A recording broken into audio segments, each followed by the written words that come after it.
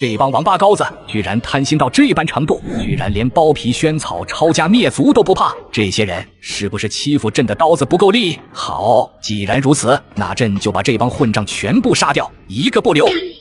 这贪墨的粮草也太多了吧！涉及的官员太广了，两千四百万担的粮草上到庙堂，下到地方的官员，以陛下的性子，不得血流成河。伯温啊，你看这个案子该怎么办啊？自己的淮西乡党和刘伯温带领的浙东群臣斗了大半辈子，要不是沾了和上位是老乡，以及追随时间长的便宜，自己真未必能压刘伯温一头。恭请圣裁吧，我也想解决，但是这个案子实在太大了，完全超过了臣子可以处理的范畴。就是三权合一，鼎盛时的丞相都没法给出建议，只能由陛下亲自裁断，否则就是上下不分，尊卑不分。可这是上位交给咱们内阁的第一个事情，就这么交上去，是不是显得咱们太过无能？首府大人这么说，难道你还有什么好的解决方法？伯温啊，我知道有一小友不仅聪慧无比，而且深得上尉和太子的信任。你说我们能否去找那个小友问计，然后再上奏给上尉？这主意好啊，咱们早就该找那小子问问了。以他的聪明伶俐，肯定有解决的方法。首府大人万万不可，这可是朝廷机密。没有陛下允许，怎么可以随便透露给外人知道呢？是啊，韩国公如实上奏，最多被陛下斥责。可是要泄露朝廷机密，那罪过可就大了。咱们还是依承一伯之言，老老实实上奏陛下吧。陛下，内阁大学士集体求见。哦，内阁集体来访，是郭桓案有章程了？应该是吧。不管是韩国公还是程一博，都是我大明数一数二的智者，他俩一起出面，应该没有解决不了的事情。既然如此，就让他们进来吧。全内阁大学士集体觐见。老臣无能，恳请上位圣裁。什么？没有办法，还要咱亲自处理？你们两个合力还解决不了郭桓这个案子？不就是几个贪官上下勾结，贪没了北平和周围几个布政使司的粮饷吗？全部杀掉，抄家灭族不就行了？这个建议很难下吗？平时嚷嚷咱不给你们放权，现在咱老朱放权了，你们连这个事情都办不好。臣无能，恭请上位圣裁。看来这个案子恐怕不是自己想象的那么简单。都起来吧，百事，这到底是怎么回事？请上尉御览。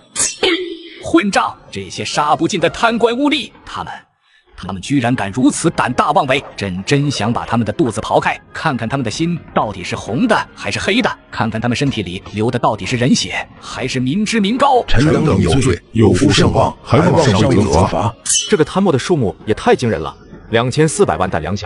比洪武十四年朝廷一年的赋税还要多，从庙堂到地方，无数官员卷入其中，除了直隶以外，其他十二个布政使司居然无一幸免。如此的惊天大案，简直是旷古未闻。这帮王八羔子居然贪心到这般程度，居然连剥皮萱草、抄家灭族都不怕！这些人是不是欺负朕的刀子不够利？好，既然如此，那朕就把这帮混账全部杀掉，一个不留。父皇，不可呀！如果真得大开杀戒。恐怕我大明朝也剩不下几个官吏了呀！怎么，连边儿你也要为那些贪官污吏说话吗？父皇，如果有可能，儿臣也想把这些硕鼠斩尽杀绝，还百姓一个朗朗乾坤。可是郭桓案牵扯到的官吏实在是太多了，六部九卿，各地官府几乎一网打尽。如果真要按照六十两以上包皮萱草执行，我大明官场就无人可用了呀！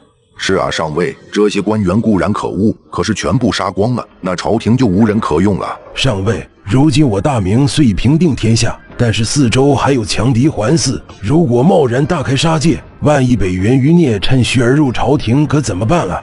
陛下，各地的刑名钱粮修和制低，还需要当地官更组织。如果陛下一口气把他们都杀了，这些事让谁来做？怕什么？有乡野大贤，有献学和监学的殷殷学子，还有百万卫所大军，咱就不信了。离了这帮王八羔子，咱还治理不了大明的天下。上尉，万万不可啊！空印案、胡惟庸案已经斩杀了大批官员，即便使用献学和监学官员也不够啊。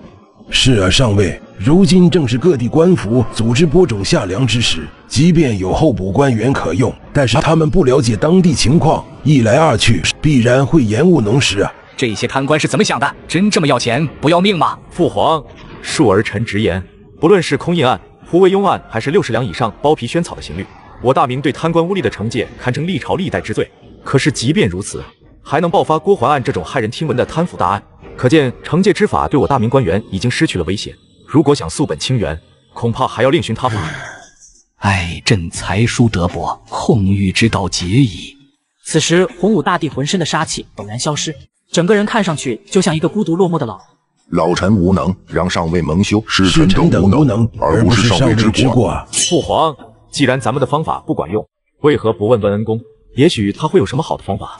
对呀，刚才光顾着悲伤了，咱怎么把方小子给忘了？这次的郭环案，他以前就主动和咱提起过，说不定在后世已经有了关于郭环案完整的处理方法。朝中不可一日无人。妇人。太素，你们两个在内阁处理事务，其他人跟我去十王府。臣等遵旨。韩国公，上尉所说的方小子和你与信国公说的是不是一个人？程义伯所言不错，上尉说的方小子就是我们口中的那个高人啊。韩国公、信国公，你们口中的这个高人有什么神奇之处，居然能如此得到上尉的重视？这到底是什么高人了？博文，你可能不知道，这内阁司礼监和军机处的法子，就是方小友的想出来的。什么？这内阁制度是他设计出来的？呵呵，军师你不必如此惊讶，这小子会的东西多着呢。这世上居然真有生而知之者。